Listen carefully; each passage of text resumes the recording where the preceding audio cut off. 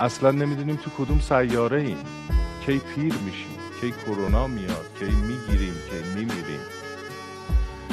قبلا هم گفتم قدیم تو هر خانواده پدر کار می‌کرد بقیه می‌خورد.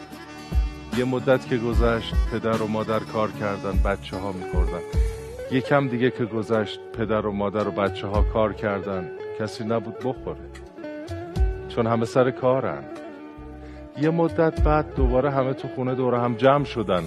چون دیگه نه کار بود نه چیزی بود که بخورن یه فیلمی دیدم در فضای مجازی. دیدی؟ یه آقاه داشت آشغال جمع کرد از داخل یه ماشین بهش گفتن برو خونه مگه نمی‌دونی کرونا اومده؟ گفت اومده که اومده. اصلا کل زندگی برای من چی داشته که برای از دست دادنش از چیزی بترسم